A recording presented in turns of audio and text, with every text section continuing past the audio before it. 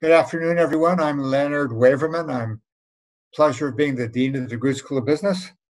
And thank you all for joining us today for uh, the Knowledge Lab Labs webinar uh, hosted by us and uh, in partnership with Raymond James. We thank them for their on continuing support uh, in various programming that we do and this Knowledge, Knowledge Labs series. I'd like to thank our unsung behind the scenes team uh, Kelly Rayback, the manager, Leah Fleet, and Olivia Stankovic for all they do. Uh, hosting everything we do takes a lot of time, and they deserve a huge amount of credit for the way they're supporting the school through this period of time. So, and, and we're also thankful for our faculty, our alumni, and friends with the, who have the depth of research and knowledge in, in the vital in the issues and industries that are uh, at the root of, of, where we want to go forward. Because uh, what we're doing at this point is trying to support uh, people in uh, in industry and nonprofits in thinking through uh, what is you what do you do now during the pandemic? What can you do afterwards? And we're using a variety of channels, uh, web articles, webinars, and we have an in the know video playlist as well. And I'm pleased to share uh, one thing now, one thing at the end.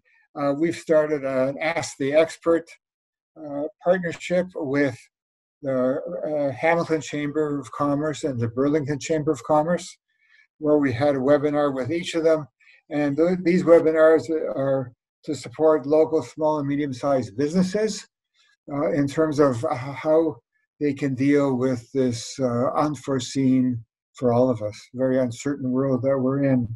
And so, faculty members uh, such as Benson, who you'll be seeing today, who's the moderator, uh, have offering their time freely to local businesses. And so, uh, if you're interested in this, there's the website where you can come in and post a question, and a faculty member will get back to you with some uh, how we can help out. Now, let, let me introduce our, our two panelists for today. We have uh, Adam Felesky, who's kindly agreed to participate in this discussion.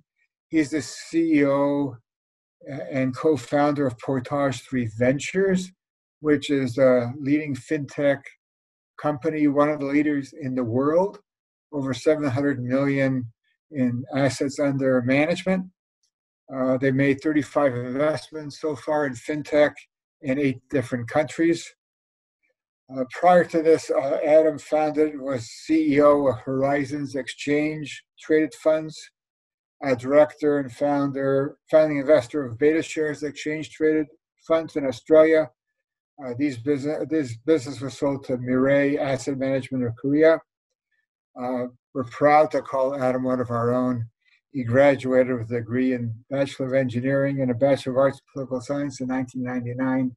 He's a very strong friend of the school he is someone I rely on for advice, uh, which he's unafraid to offer. and uh, uh, Adam funds our, our best, uh, biggest MBA scholarship and our annual Insight uh, lecture series. So, Adam, thank you very much for being here. And the moderator for today Benson Honig, who is the uh, Teresa Cascioli Chair in Entrepreneurial Leadership at DeGroote. He studies entrepreneurship worldwide, besides being an entrepreneur himself. His research interests include business planning, nascent entrepreneurship, transnational entrepreneurship, ethics and scholarship, social entrepreneurship, social capital, and entrepreneurship and elements of transition. Certainly something we're going through today. He's published widely in leading academic journals and the media, and serves on six editorial boards. I don't know where he finds the time, including the Journal of Business Venturing and the Journal of Management Studies, which are very high ranking uh, journals. So thank you, Benson, for joining us today. today. And I now turn it over to you.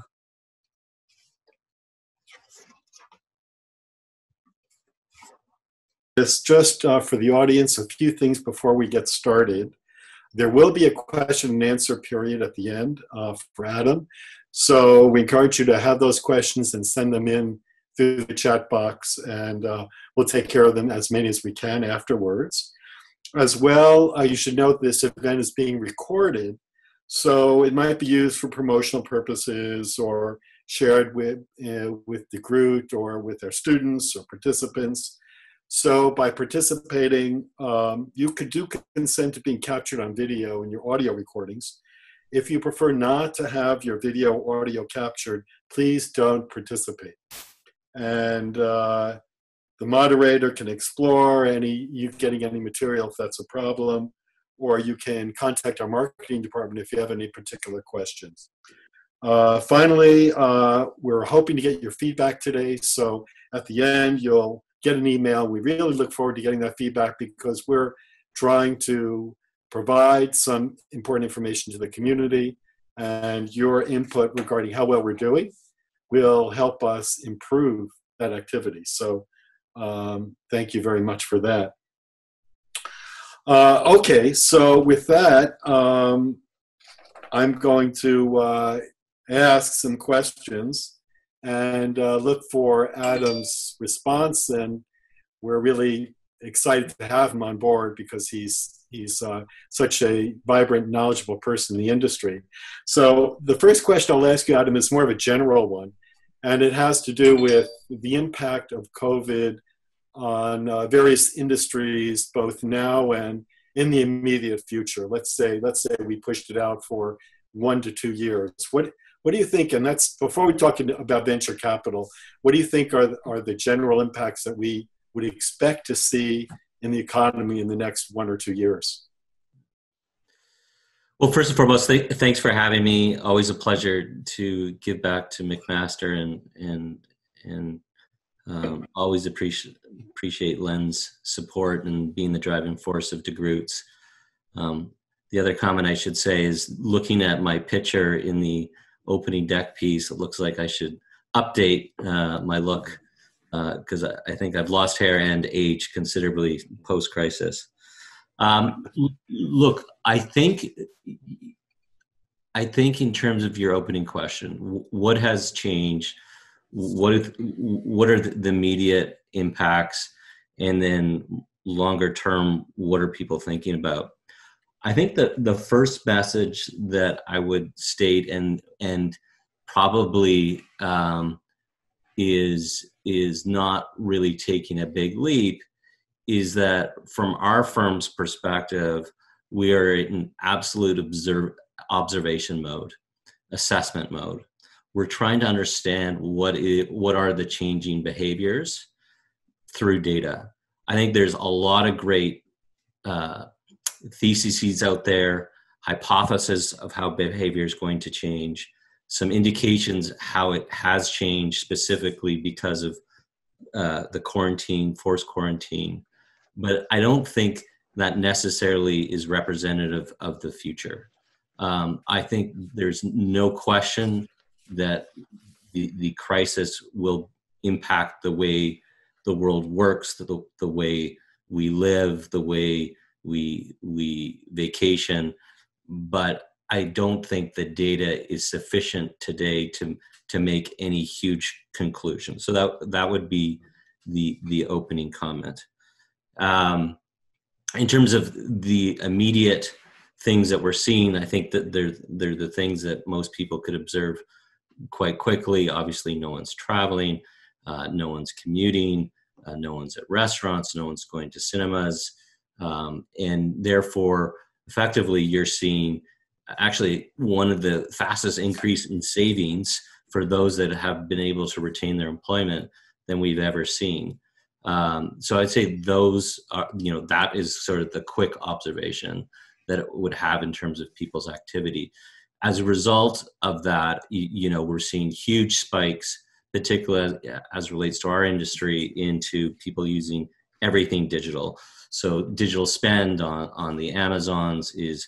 Is is is unbelievable. PayPal's business, the fastest growing segment uh, right now are, are, people over the age of 50. Um, we are we we are seeing incredible amount of, of upticks in people using services such as Headspace around mental health issues. We have a portfolio company in telemedicine that is extremely um, helpful in, in in this environment. So I'd say those are kind of the short-term spikes uh, that we're we're seeing. Cash, cash, cash has decreased in, in, a huge way. No, everyone's transacting digitally now, um, but these are short-term consequences of the current situation. I think I can speculate and give you a couple themes that we're thinking about, but again, we want data to to reinforce whether uh, we are correct or not. I think one is we're really interested. Everyone says globalization's dead.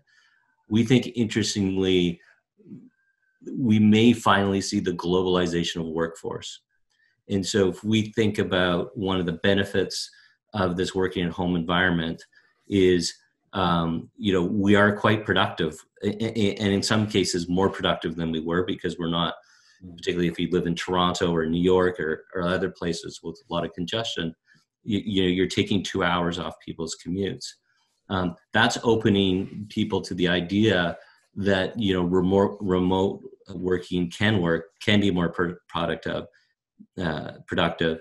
And so i think pe- people are going to be much more open to distributed teams.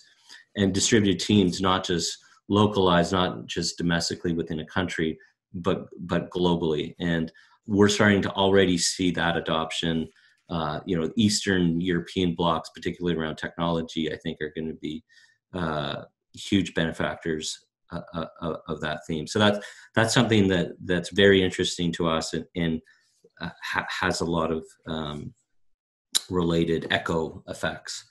The second theme we're thinking about is really, and this has been a theme for some time, but it's going to, we believe it's going to be accelerated, is that there's going to be a really uh, a need for incumbent large institutions that use intermediaries to go direct. And I think they've been hesitant to go direct uh, because they uh, believe that a lot of their distributions is built upon and dependent upon those intermediaries. I think this crisis is showing that you can build personal direct relationships digitally and so i think uh, those direct channels is going to be a, a huge a huge investment for for financial institutions and other uh, businesses uh, around the world. And then i think the other theme that we're thinking a lot about is the re-empowerment of in individuals and small businesses in particularly. And i think shopify which should be you know could be one of the the all-time amazing Canadian stories is is in the platform business. And what's beautiful about their business is it's capital light. They're not spending dollars on distribution and marketing and advertising and trying to attract customers. Customers are finding them building on top top of their platform, leveraging other services that have been built on their platform, and they're just the infrastructure. So the infrastructure of everything, uh, the SaaS of everything, is something and a theme that we're we're really excited about and think that this environment will be a tailwind for that. Great, thanks, thanks for that. Um, so for my next uh, question, you know, we know that uh, disruptions and recessions uh, can cause all kinds of changes. A lot of very successful firms have come out of deep recessions, even depressions.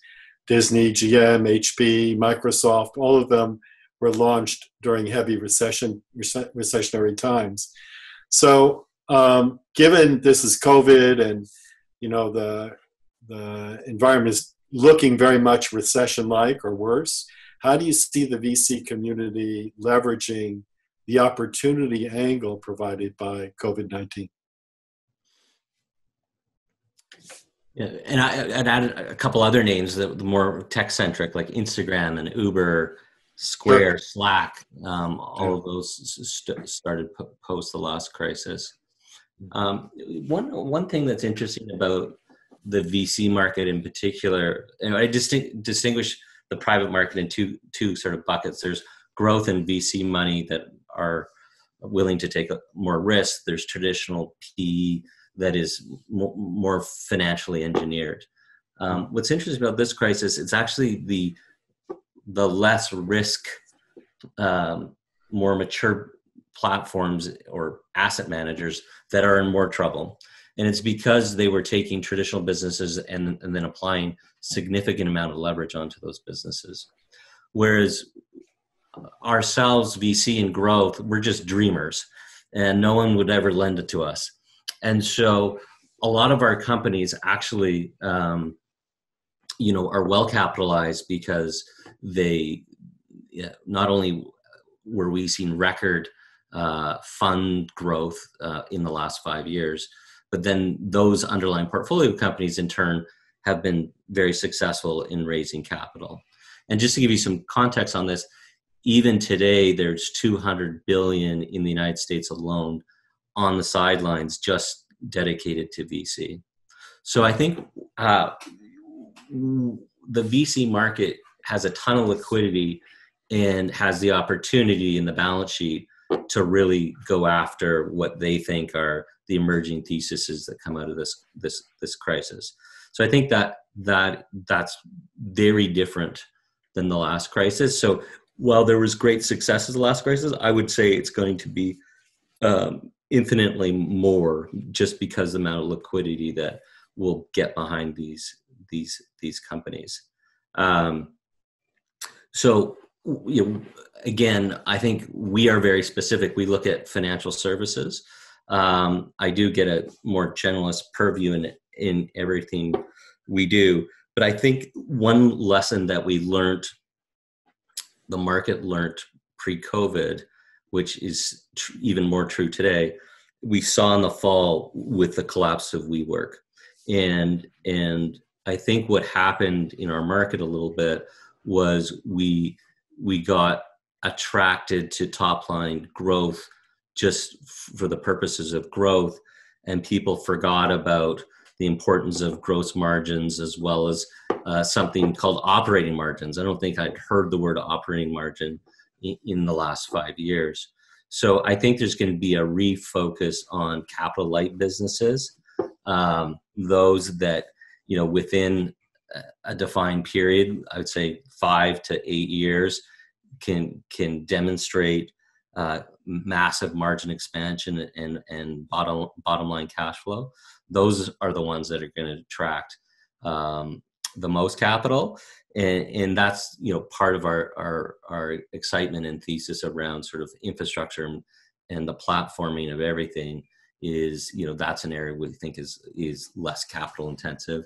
And you know there'll be a proliferation of potential users that are going to dis- discover those those pieces of infrastructure. Interesting. Well cash is certainly king and when things get difficult you want to be you want to be sitting on a pile of cash so uh, another question i had was on a lot of the recent vc plays that we've seen uh, involving the shared economy so the high growth area has been, you know, the tourism, transportation, Uber, uh, um, Airbnb, those sorts of things. So how do you see those investments weathering COVID 19? And do you see the VC community moving in a different direction or tangential direction to, to accommodate those changes? So I would go back to my first comment. It's tough to say. Um, you know, I I've heard very good arguments why uh, the Ubers and Lyfts, as an example, long term are going to be huge benefactors of this crisis. Um, you know, fr- from you know adding um, couriering to their services and delivering packages to just the fact that people don't want to take public transportation for some time. Um, I think tourism is is is one that everyone's going to be careful about.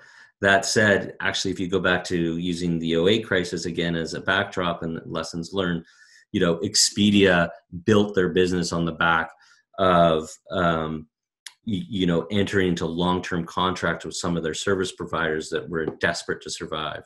So I think, you know, most of us think in the t- in time frames of seven to ten years, and if there's a market leader that um, is experienced serious challenges, but we believe their business model will return when things return to normal. It's actually a time where they will be successful in raising a lot of capital to go after either consolidation or again uh, further embedding their services or their commercial advantages with with those that aren't in, in as good of positions. Interesting. So uh, now I'm thinking a little bit about how unpredictable this pandemic is, or things like a pandemic. And I'm curious about how you, as a VC, invest. So, you know, there's a lot of debate whether um, the most important thing is the idea or the quality of the team, or some even think it might be a quality of the business plan. So I'm wondering how you view those, the balance of those three inputs, and has the COVID 19 changed in any way how you prioritize, how you evaluate a business opportunity? So we have a we have a it's a good question. We have a thesis driven approach. So every year uh, we we revisit and develop our, our our theses, which are based on kind of where we think uh, the world's going in a specific industry, or what are key themes that that we should be mindful of, and then with those theses, we then look to the market, trying to do a market map scan, identify companies that are that meet those theses, and then are actively pursuing them. We do not, and I would say majority of VCs, I hope, um, really don't uh, wait for the phone to ring and and take a, a random uh, walk approach.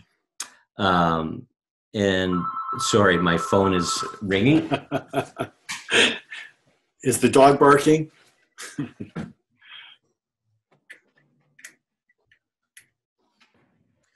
Live TV. Um, so, so, so, I guess post crisis, we sat as a team and we revisited all our theses and then revised some of our theses based on some speculation on and what the future could look like um, and then proactively go out searching searching for solution that that meet that. So number one thesis.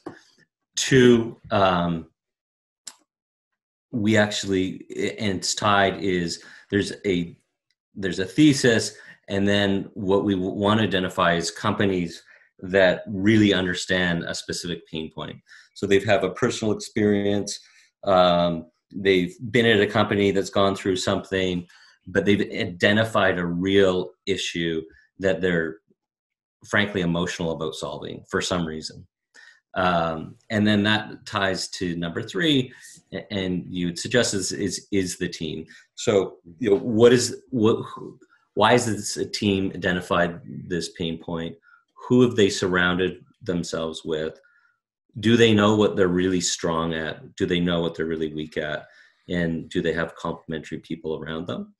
And i would say as we have evolved i would say you know key criteria to success if we look back is is really having that ability to uh, to be a visionary see where the world's going and being uh, being very focused on that north star at all times.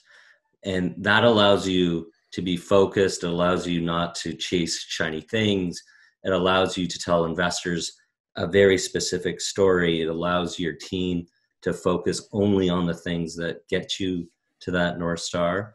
Um, and and so we're really looking for those uh, mission driven myopic leaders that know they're going to solve the the world and win and have you know they're they'd be really excited about making money but they're actually more excited about um, sol- solving the specific issue. Great. I'm glad you didn't say uh, business plans because i'm a big advocate of if anything contingency plans but i think they're people spend too much of an effort on that and too little on being passionate about what they're doing. So the, the only yeah. the only thing that I would so I, I you know we say that a business model you know generally changes every three months in early stage investing. Um, so a five year plan you know just is, is worth nothing. I think one thing that is important though is under really understanding your your metrics. Um, whether whether you're a a B2B business or B2C business, even if they're not great, understanding the levers you need to work on to scale and improve those over time, the ability to demonstrate that progress will give the investors confidence. Yeah, makes sense. So uh, a question I had is a little bit about um, where where your resources come from. So we know uh, venture capital is typically funded by institutional investors, and as this environment changes, it sounds like you may be changing. You as a as a VC team may be changing, and others might be as well. And there might also be some demands based on the institutional investors' preferences with, with the outcome of COVID. And I wonder if you could speak a little to how that's impacted the demand for what you do, and also if you're in fact changing in any way what you do in order to meet uh, those new requirements. So there's a couple things there. So the first thing I'd say, going back to the last crisis, um, majority VC assets were actually funded through high high net worth individuals, family offices, uh, and, and and and and similar like folks. Institutions really started uh, ascribing a specific allocation to VC really only in the last kind of five years, and it's been growing over time.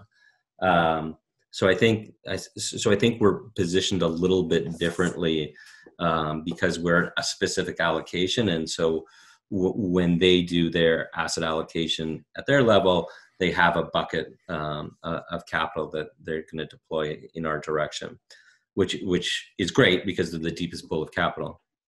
The other thing is, and this um, and I always like to emphasize this is purely speculation because I don't know yet because we just finished our fundraise.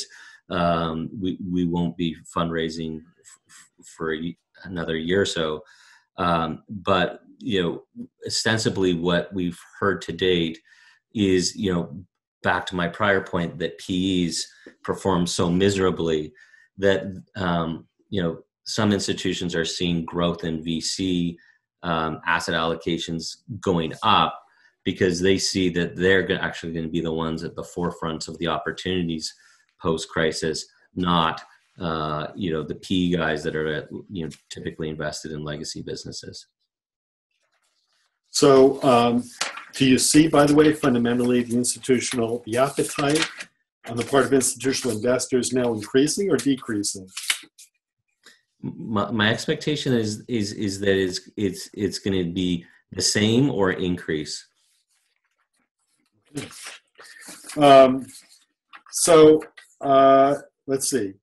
But sorry, but, but and I would I also suggest that individuals, uh, family office, and most importantly, I believe corporates are probably going to participate less, um, and that's because their individual balance sheets um, have been hurt, or in in the corporate world, they're deploying their capital to their core business.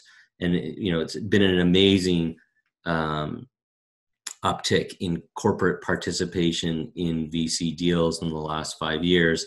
In 2019, I think it hit 35 percent.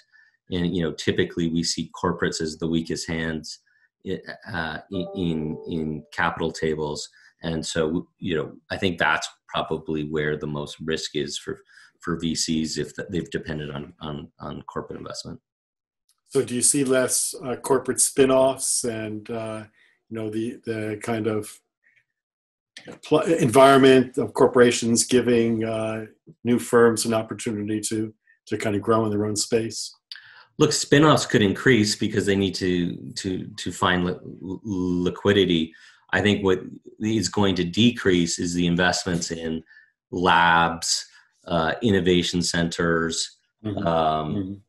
you know, investing in, in other VC funds, uh, investing directly in, in young startup companies. I think they're going to be distracted and focusing their capital on, on their on the core business, which for us is a great thing. Um, we we we don't particularly need their noise um, and and you, you, you know it, it, it just reduces competition. Great. So let's move a little bit to stakeholders. Um, we can think of stakeholders as uh, the government, as uh, us, as uh, uh, consumers and even DeGroote as a business school. So, what do you think stakeholders can do to help industry as a whole? And do you feel that, for example, the government is reacting uh, in an appropriate way? And are the stakeholders doing enough to support uh, the business environment during this pandemic? Mm. So it's, it's, a good question, and um, you know I think it's very difficult to criticize um, in, in, midst of a crisis. So I think it's more, you know, we need to make sure that we have a point of reflection in a few months on what we could have done better. I would say that one area of policy that we've spent a lot of time on and we've discussed it at other McMaster events is the importance of open banking specifically um, and empowering consumers and small businesses to be able to access their data. Um, had that been in place, you know, we would have been able to deliver relief or loans in a much more efficient way. Um, so I think that that should be a point of reflection. Um, certainly, the UK and Europe and Australia uh, have benefited for ha- by having that infrastructure in place, and it's it, it's an area that we'll continue to, to advocate for. The second thing is with every you know with the digitization of everything getting compressed from you know something that people thought would take five years to two months, um, we're seeing a huge huge increase in cybersecurity threat, and and and so you know we need to make huge investments uh, across the board to protect consumers' data um, and key infrastructure as as we kind of enter this this new wave of digitization. So my last question to you before we go to the audience questions is uh, regarding the glass half full opportunity piece.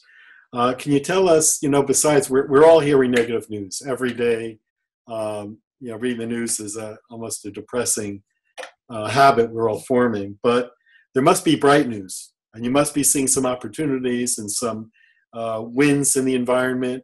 Could you share with us some of the some of the positive outcomes that you've observed?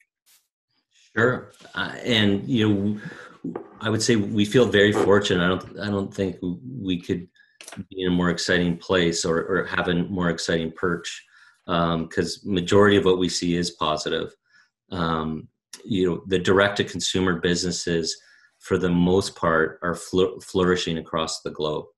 Um, and it's because uh, you know the there's inertia to try their services. There's an opportunity and a reason to try their services that there may not have been before. Um, and then the other thing that that is as important is the cost of acquisition is just plummeted.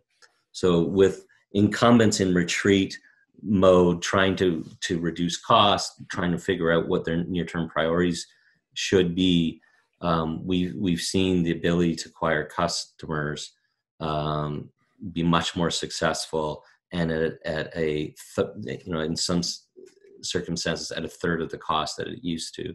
So i think um, our biggest challenge is tempering our enthusiasm and again staying in data observa- observation mode to really understand what the, the post quarantine world looks like. But I would say generally we're tempted to be more aggressive, uh, invest more capital to cement or cement a leadership position amongst our, our digital peers, but uh, you know long term really go after market share of the incumbents. Um, and, and so anything direct to consumer you know we're seeing that in insurance we're seeing that in banking we're seeing that in uh, our wealth management business uh, simple, our banking business KOHO here in canada is up 60% post crisis um, our telemedicine business dialogues up 100% post crisis uh, so there's there's a lot of amazing stories that are emerging out of out of this and I, I think it's just going to accelerate the the J curve for a lot of these businesses beyond everyone's expectations. That's really great to hear. That's really good news. Uh, so happy to hear that. So now we have got audience questions. One's a very, very simple question, which is uh, is capitalism still the right system today? a nice, easy question we're throwing at you. Right. I have to believe it is. Um, you, you, know, I just think that uh, capitalism drives uh, the motivation to ideate and the motivation to to go after and pursue a dream, a solution, you know, a service, um, and be rewarded for it. And I think that's it, that's that's really exciting as as an individual, and I think it it it spawns and inspires other people to do the same. So I think um, you know it's it's it's the the least of the worst models. Um, and I think it continues to be. I think there's lots of political debate, and rightfully, whether you know we should have some base guaranteed income. Um, but I probably should leave it to Len and the other professors to opine on that. Okay, well, we'll tackle inequality a bit later. Maybe that'll be the next talk. So we've got an interesting question from someone that's very relevant to you. It goes like this Does this pandemic change the way startups pitch themselves to VCs? I'm sure there's going to be, already has been a change in the way VCs are being approached by startups. The in person meeting with a potential startup has an advantage over virtual meetings. So even if the product service isn't that great, if the founders are of good character, then maybe we could compensate for the product. And this person thinks it might be difficult to bring out someone's character in a virtual setup due to the limitations of you know that kind of uh, media. So what do you what do you think about the sort of the opportunity to pitch today to VCs? It's a really good question and something we're struggling with. Um, we um, we have done uh, two deals post COVID. We are about to do two more. All of those deals, we knew the people beforehand um, in in in some way. We have yet to grapple with: Would we ever be comfortable funding a company whom we've never met? And I think my bias is possibly, but we would we would require other things to to to get that comfort. We would, you know, probably want to know the investors that are already involved in the company. We would probably do, you know, a much deeper dive into uh, due diligence. Um, and then the last just practical thing we're doing because we're a global fund, we're making sure we've got people in all of our core countries on the ground so that when domestic uh, meetings is possible, we have people that, that can meet with founders directly. But it, but uh, you know that's a that that's the COVID reality. The the the real question about pitching VCs. Look, I I go back to that most VCs are thesis driven, and I think you, most are producing enough content to be pretty familiar with their theses. So you know, build your business based on the pain, the pain point you're trying to solve, and then when you're thinking about raising capital, map it to those that have specific interests in the vertical or the solution that that that you're you're pursuing. Look at their portfolio companies and talk about synergies that they may may have, um, and and customize and refine who you're targeting. Otherwise, you're gonna you're gonna waste a lot of time in unnecessarily.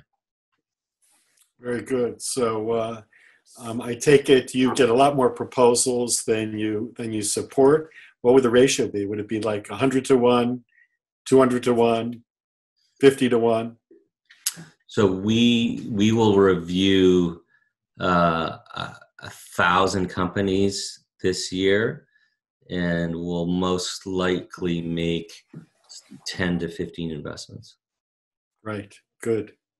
Okay, that might be close to the odds of getting hit by lightning. So look out when you go out outside in the There's store. a lot of us. Yeah, that's true.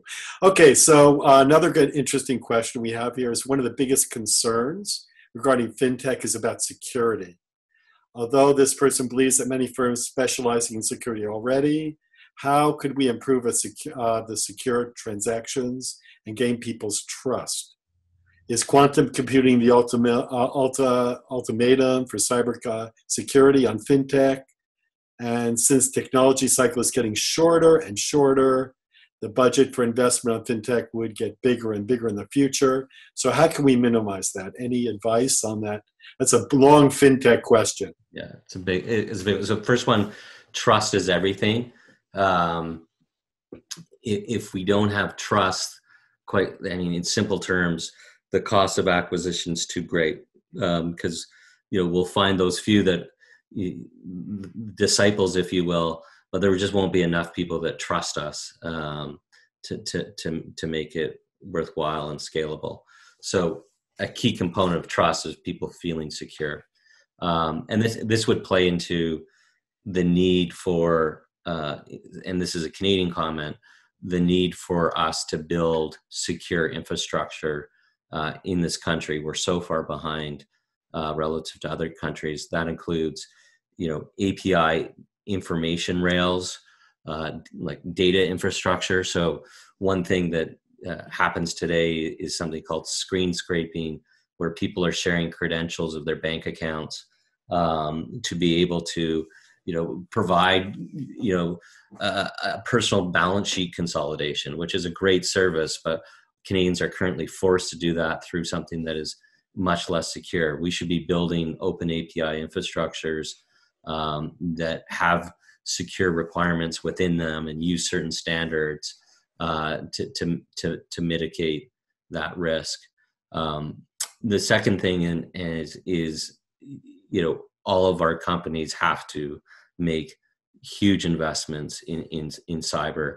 Um, we, I would argue, can hire some of the best talent because they're exciting places to work.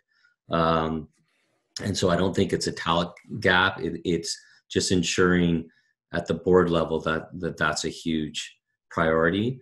Um, fortunately, if you look at most of the cyber attacks, they're actually against incumbents for two reasons. One, they've got more, it's more exciting to, to hack into their customer base because it's larger. But two, it's because their infrastructure is so old, uh, despite the investments they've made. And you know we get to build completely new infrastructure um, every time we start a company. And then the last piece i would say most platforms like ourselves um, we have dedicated cyber, uh, cyber teams. So we just brought on a cso from our platform um, that used to to work for critical infrastructure for the canadian government um, increasingly you're going to need these t- types of resources on your team and you're going to have to accept sadly that there's going to be data breaches um, all the times. It's the question of how you act, how you contain it, what are your protocols, how do you inform your customers uh, that will ultimately create that confidence. Thank you for that.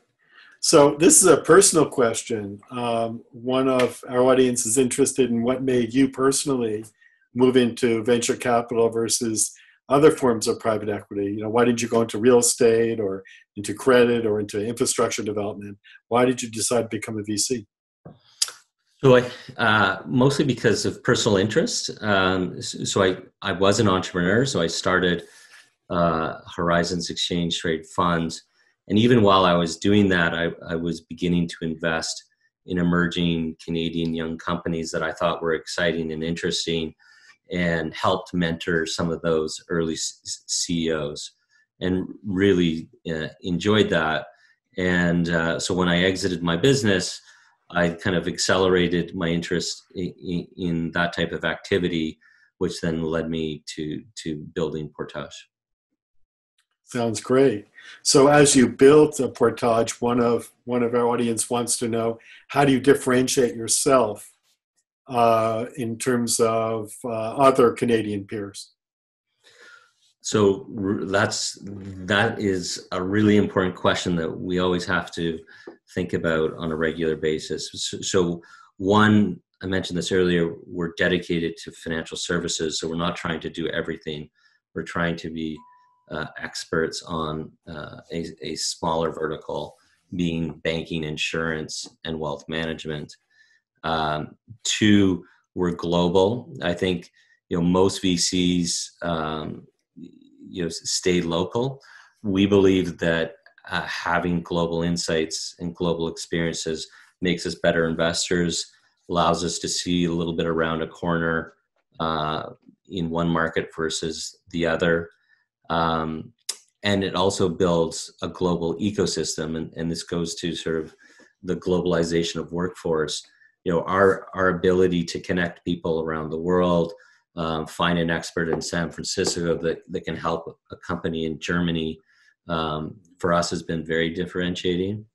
And then the last piece I would say is we've made um, outside of some very large growth funds, not VC funds, um, we made huge investment in vertical experts, uh, which help us in due diligencing companies, but more importantly, it helps our companies kind of move forward and, and having access to talent that they wouldn't other, otherwise. So I mentioned our head of security.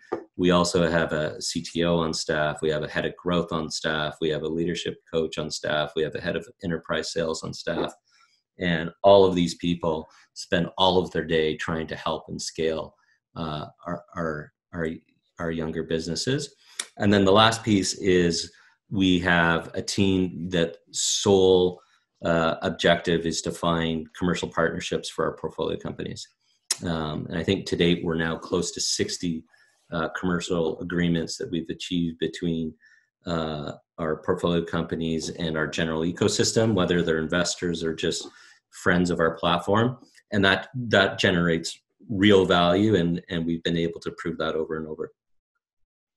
So that uh, actually leads to our last question. We only have time for about one more, but given that you have a global emphasis, which is wonderful to hear, from from my academic perspective. Can you share with us how you build digital relationships, given that these are people all over the world that you're actually bringing into your your organization? How do you do that digitally?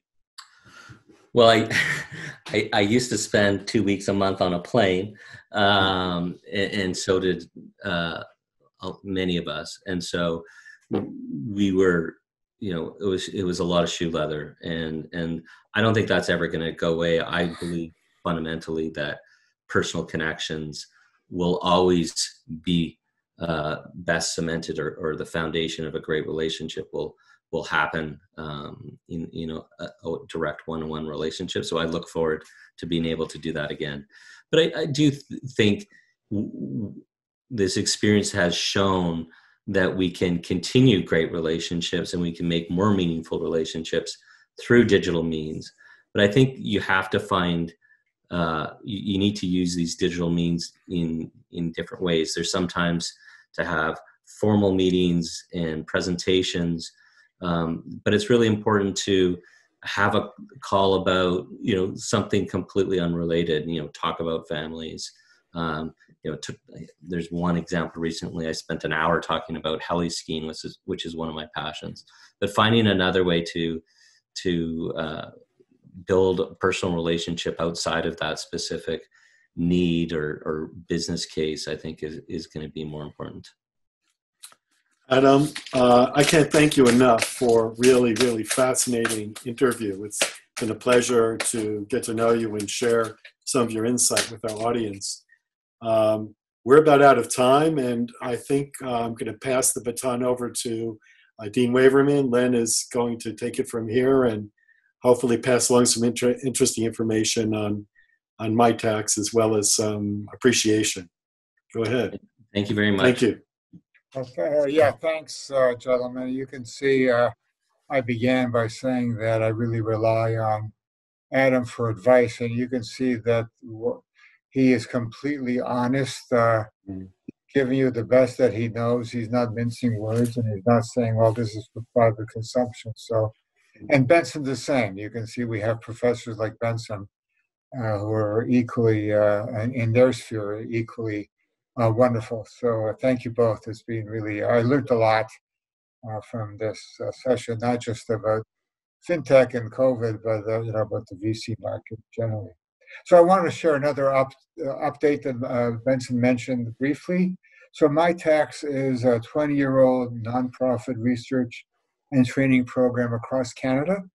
And we're pleased to announce something called the BSI program, the Business Strategy Internship Program, uh, which will begin at the beginning of June, which is designed to help SMEs.